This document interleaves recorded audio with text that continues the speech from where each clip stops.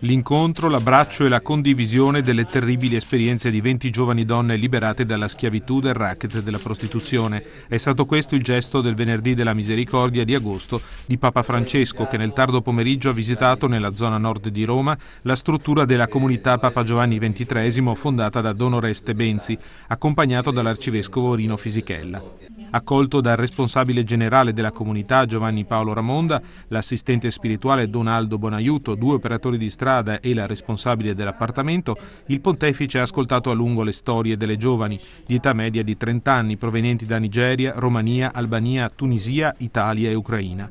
Tutte hanno subito gravi violenze fisiche e vivono protette. Hanno mostrato al Papa le ferite subite e raccontato drammi come quello della ragazza appena arrivata che si è ritrovata a partorire sulla strada da sola e a vedere il suo bambino morire tra le sue braccia. Nel suo saluto Francesco ha chiesto perdono per tutti i cristiani, cattolici che hanno abusato di voi e anche perdono per me per non aver pregato tanto per voi e per questa schiavitù. Il Papa ha richiamato ancora la società e i governanti all'impegno di combattere la tratta degli esseri umani, che ha più volte definito come un delitto contro l'umanità e una piaga nel corpo dell'umanità contemporanea, una piaga nella carne di Cristo.